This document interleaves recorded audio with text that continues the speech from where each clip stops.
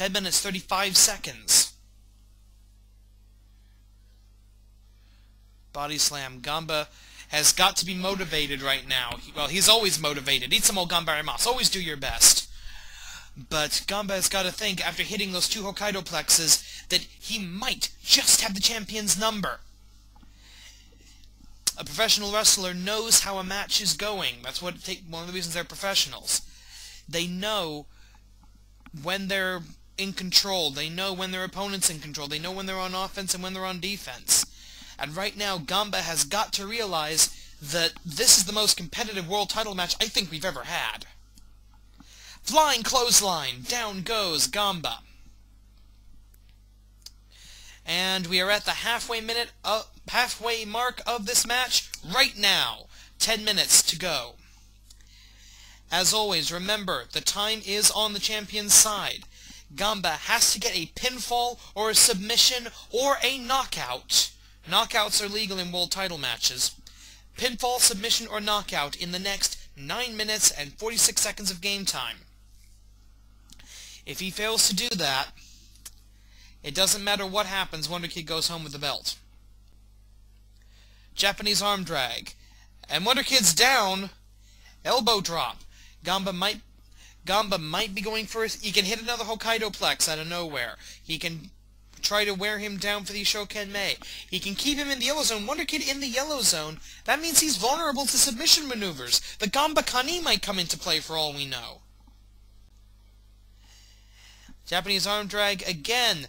Kick to the midsection. This is where Ganba is dangerous. When you let him build up momentum, start chaining these moves together. Fall away slam. And the crowd is coming alive for Ganba. You can you can't hear it, but I can. That's one of the disadvantages to uh, editing these things. But our two-dimensional fans in the crowd here in the AWL arena are going crazy. They know they are witnessing a happening. They are witnessing a moment as Wonder Kid is thrown pillar to post by the Oshogatsu Taikai winner, the Japanese megastar, the quite possible future world heavyweight champion. Spin kick combination damn near takes Wonder Kid's head off. This might be a moment of history. Golden War 2010.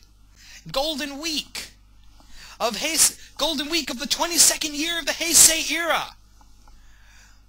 This is the begin. This might be it. And if not, this has been the best world title match, bar none, that we've had in the AWL. Ganba, Wonder Kid,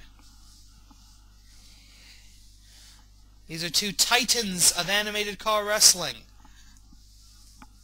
Is there any is, is there such a thing as non-animated CAW wrestling? Anyway, these are two, two titans of animated wrestling. Wonder Kid likes to think of himself as the 20-minute titan. But will he be able to still claim that Machir at the end of this match? Even if this match doesn't go 20 minutes. That's what happens with most of Wonder Kid matches. He just outlasts his opponent, and he does this, these 20-minute Broadway matches, hence the nickname 20-Minute Titan. But Ganba, with eight minutes to go, now is the point the time is going to become a factor. Etsugiri and Wonder Kid in the very deep yellow zone. Eight minutes and change remaining. Now Ganba's going to have to watch the clock. He can't afford to waste time anymore. Not that he's been wasting time. But Wonder Kid, the more the more that clock ticks down, Wonder Kid's going to think, okay, now I can start running out the clock. Now I can focus on just not losing and I can still go home as the world champion. And that was dangerous. You saw Ganba there for a split second, sort of losing awareness. He can't afford to do that. Fall away slam, that's the fourth of those, I think. And again, the two-dimensional crowds, the two-dimensional fans coming alive. You can see that flashing indicator. And wait a minute! Ganba's going up to the top rope. What is he thinking? Are we going to see what I think we're going to see? Gambaro Special! Nothing but canvas! Turning point! Never mind! Oh no! Wonder Kid on the outside, is Ganba gonna fly? No, he's gonna slide. Got, Ganba has got to be so careful. There's a referee's 10 count on the outside. It's not a false count anywhere match. You can't beat him on the outside, but if that clock, that countdown under the timer, if that hits zero, this match is over. Wonder Kid will win by default. Or at least we'll go home with the belt by default. Every fall, every hit hurts more out on the concrete, does more damage. Military press slam! Onto the... Oh, onto the cement! No, no, no, it's down to a two!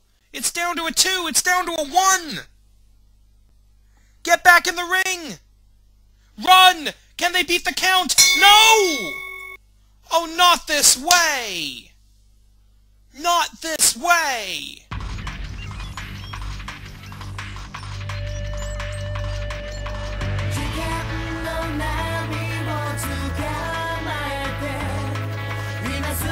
Here's your winner by countout,